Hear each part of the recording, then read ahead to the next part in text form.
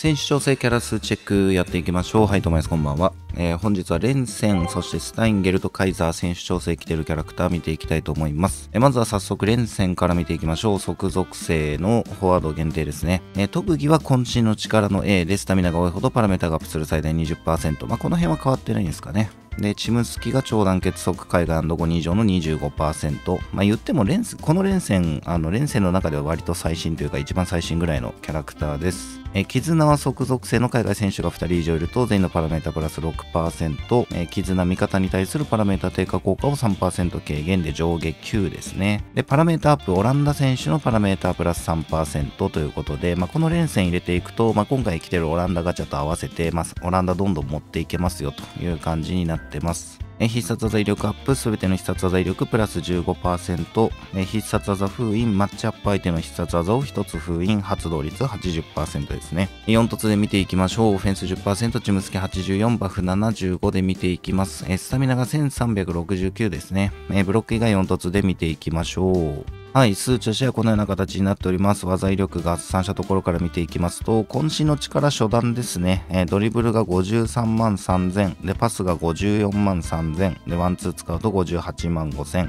えー、タックルが50万、パスカット47万6000になってます。読み勝ちの補正ありで見ていくと、え、ドリブル62万、で、パスが63万6000、ワンツーで67万7000なので、まあ、ドリパスっていうところで読み勝って抜いていくのは、まあ、結構最近のディフェンダーだと、まあ、かなりギリという感じになっちゃうんじゃないかなと思います。まあ、ジェンティーレ、まあ、ちょっと前に出たドリコレのジェンティーレとかであったとしても、まあ、パスカットとかしとけば63万ぐらい出るので、えー、ドリブルで読み勝ってるんだけど抜けないとか、まあ、そういうことが起きてきますね。まあ、今だと、まあ、読み勝って70万ぐらいは超えたいという感じです。え、タックルは58万4000、パスカットは55万なので、まあ、確かにあの強化はされたんですけど、まあ、追加バフ要因みたいな、え、ところの域は出てないのかなと思われます。でさらに渾身初段だけでこの数値なので、まあ、そこからスタミナが削れて下がっていくと、まあ、さらにどんどん弱っていくということも考えると、まあ、少し、えー、フィールドプレイヤーとしての能力は低めかなと思います。え、シュートなんですけど、まあ、一応渾身の力初段で低受けで打てば63万2000という数通知が出ております。まあ、オフラインとかで使う分には十分強いかなと思うんですけど、まあ、ランクマとかだと、えー、60万後半、まあ、70万超えですね、えー、ぐらいしてた方が、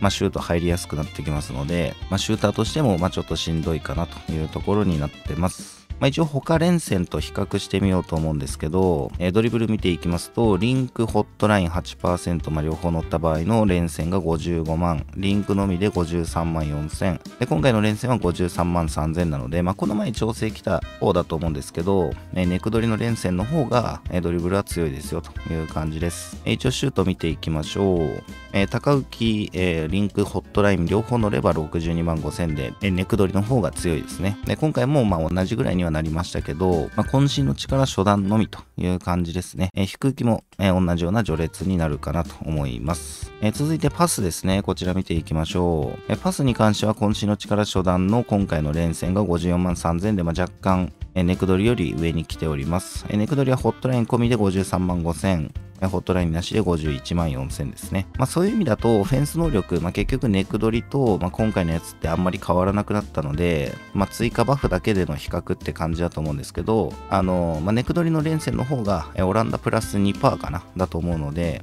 追加バフ加味すると今回の連戦入れてった方が、あの、追加バフキャラとしてはいいですよという感じになってます。あとはタックルパスカットですけど、えーまあ、ネクドリが51万2000、えー、リンクのみで49万。で、今回の連戦は初段で50万なので、まあ、ここも大差ないですね。えー、パスカットに関しても同じですね。えー、ネクドリが49万3000、今回のが47万6000。で、えー、リンクのみのネクドリが47万5000になってます。まあ、結局守備に関してはあのご了承されてしまうような、え数値になってるので、まあ、読み勝手も厳しいというところです。え続きまして、スタインくんですね。こちら見ていきましょう。技属性の OMF 限定ですね。え特技はコンビネーションブライアンの S で、ブライアンが同じチームにいるとパラメータプラス20%、えチームスキは超団結技海外 &5 人以上の25%ですね。で、絆が技属性の海外選手が2人以上いると全員のパラメータプラス6%、えそしてコブオランダということでマッチアップで勝利するすると味方のオランダ選手は次のコマンド選択時にパラメータプラス5%、え自動パスカット強化80%ですね、えそしてホットライン付与スタイン、味方のオランダ選手はスタインからのパスを受け取ると次のコマンド選択時にパラメータプラス5%なので、まあ、この辺はあの使い勝手としてはいいんじゃないかなと思います。まあ、スタインから、まあ、ディックにパスしても、えパラメータ上がりますし、え誰にパスしてもという感じになるので、まあ、この辺はいいかなと。で、さらに、ドリブル移動距離強化付与ということで、味方のブライアンは、ドリブル成功時の移動距離3倍なので、ブライアンを強くすることもできますというところです。4突で見ていきましょう。オフェンス10%、チームスキ84、バフ75で見ていきます。えスタミナが1383ですね。ブロック以外4突で見ていきましょう。はい、数値としてはこのような形になっております。コンビネーション乗る前提で見ていくんですけど、えー、ドリブルが51万、パスが50万7000、タックルが44万7000、パスカットが43万5000ですね。読み勝ちの補正ありで見ていくと、え、ドリブル61万、ね、パス60万なので、え、これもまたやっぱり読み勝っても抜きづらいという数値です。まあ、特に、まあ、DF、DMF っていうところを相手にすると、まあ、最近のキャラだとかなりきついのかなと。まあ、スーパースターのカルツとか、まあ、そういうところだとご了承取られちゃいますしっていう感じですね。え、タックルパスカットに関しても50万前半なので、まあ、この辺は通され放題ですかね、最近で言うと。まあ、なんで今回、コブオランダっていうことで、えー、マッチアップに勝利するとオランダのバフを上げることができるんですけど、まあ、なかなかマッチアップ勝利が取れないキャラクターになるんじゃないかなと思います。まあ、ただ、ホットライン付与に関しては、えー、フィールドパスで問題ないので、まあ、その辺はうまく使える可能性があるかと思います。えー、一応、他スタインですね、こちらと比較してみようと思うんですけど、えー、フェスコンビネーション10%乗って57万2000、今回のが51万4000なので、まあ、やはり差はありますね。シュートは当然フェスの方が強いので、パス見ていきますと、コンビネーション乗った時のフェススタインが57万、今回のが50万7000ですね。まあ、ちなみにあの、シュートに関しては、え50万切ってきてますので、まあ、今回のスタイン君よっぽどシュート厳しいですね。比較に戻りまして、タックルパスカット見ていくと、まあ、スタイン君のフェスが53万5000、そして今回のスタインは44万7000と。パスカットも同じなんですけど、え、フェススタイン53万6000、え、そして今回のが43万5000ですね。まあ、フェス持ってないっていう人に関しては、その次に強いスタインには一応なるので、まあ、選択肢には入るかなと思うんですけど、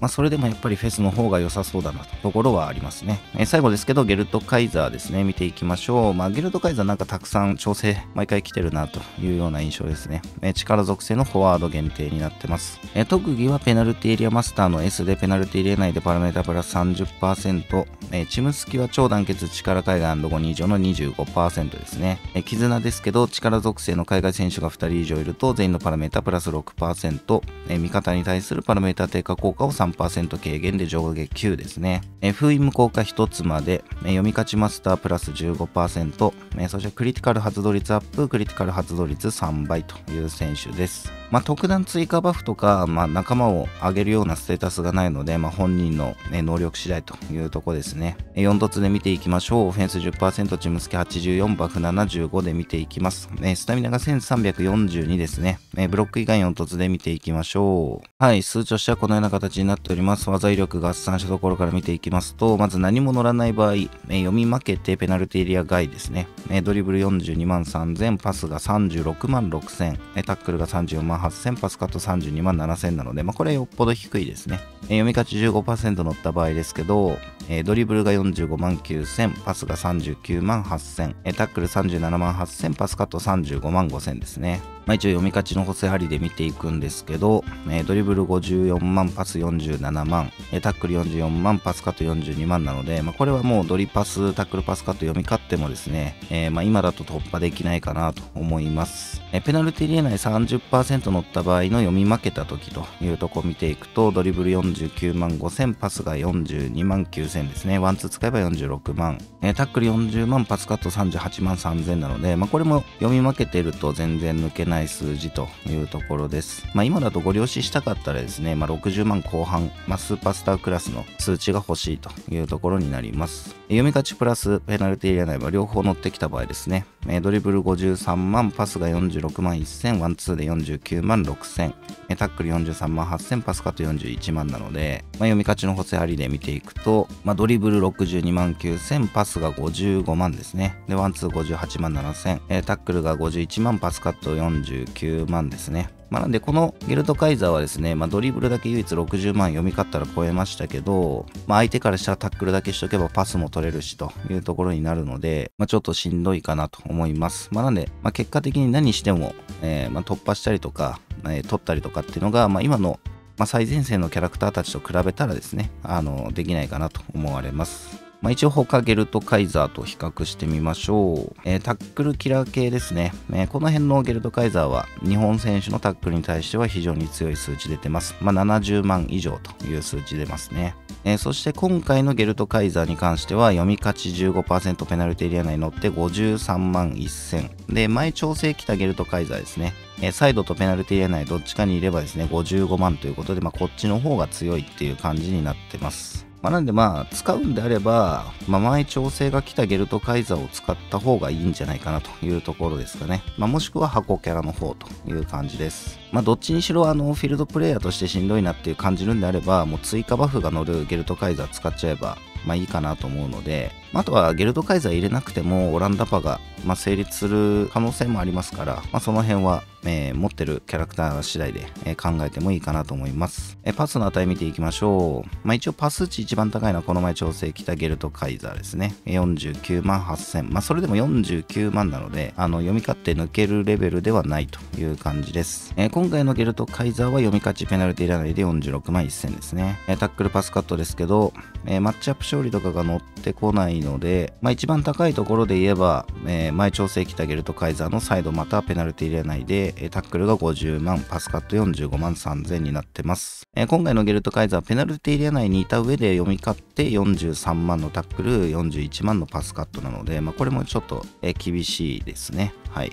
はい。というところで、今回調整来た、えー、オランダ選手見ていきました。いかがでしたでしょうか？まあ実際、まあ、使えるところとしては連戦の追加バフぐらいなところかなと思うんですけど、まあ、今回調整来たキャラクターっていうのは、まあ、特に無理に、え、持ってれば、あの、見てみればいいかなぐらいな感じで、まあ、逆にゲルトカイザーとかだと他のゲルトカイザーの方が良かったりとか、まあ、スタイン君に関しても、まあやっぱり圧倒的にフェスの方が、まあいいんじゃないかなと思いますしっていうところがありましたというところですかね。まあ、いつもご視聴ありがとうございます。えー、少し役に立ちましたら、ぜひ高評価よろしくお願いいたします。それではまた。